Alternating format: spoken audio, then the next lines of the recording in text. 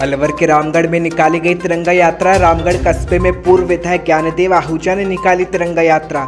घर घर तिरंगा अभियान को लेकर जनता में दिख रहा उत्साह। तिरंगा रैली में युवाओं ने बढ़ चढ़ कर लिया हिस्सा।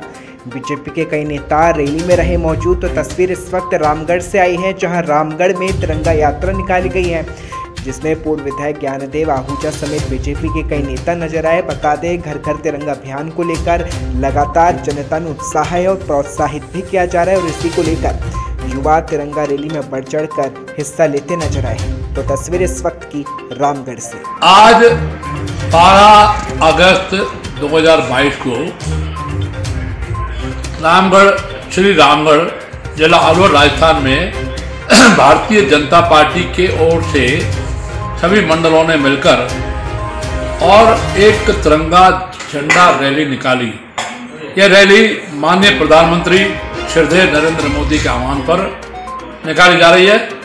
घर घर झंडा, हर घर झंडा, तिरंगा झंडा, जिसका गुणगान क्रांतिकारियों ने किया। क्रांतिकारियों की कुर्बानी और शहीद होने के कारण हमको मिली आज़ादी।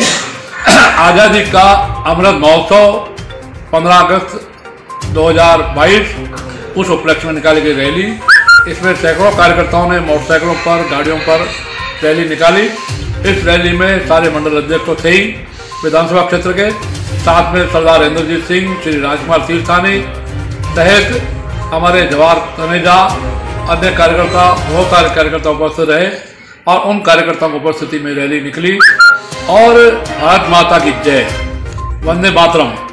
भारत में यदि रहना होगा तो वंदे मातरम कहना होगा, इन शब्दों के साथ गुंजायमान हुई और मार्केट रामगढ़ में, श्री रामगढ़ में बुआ भव्य का भव्य स्वागत।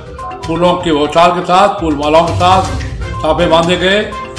साथ में माताओं, बहनों, बच्चों ने गदगद होकर करतल ध्वनि से किया इस रैली का स्वागत।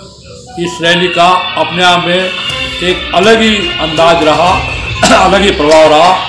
उस प्रभाव को आप सब पत्रकारों ने देखा, जनता ने देखा। इन्हीं शब्दों के साथ विराम। जय श्री राम।